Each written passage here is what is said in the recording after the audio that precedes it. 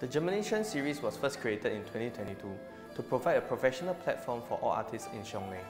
It's to showcase what they have learned in Nanyin and also their own profession. The upcoming Germination series is titled Resounding Fervor, which will include artists from China and Indonesia. Although all artists are from different backgrounds, it will definitely show the passion and unity of all artists across the globe. Apart from Nanyin, we are also happy to have Yolanda, who is one of our apprentice artists and also a theatre practitioner. Let's hear more from her, how she actually included theatre into our this edition of Germination. I'm always interested in cross-disciplinary work because I believe different art forms brings in different perspective, which will deepen and enrich the storytelling.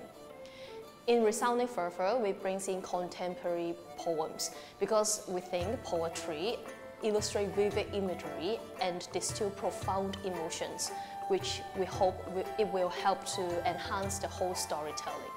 Uh, what stands out in the story to me is the determination to persuade one's heart. Uh, this is not only a romance, but a story highlighting one's courage and determination to follow their true passion and free will under an extremely difficult situation. If you want to know more about the production, please visit our link in the bio. See you on the 16th.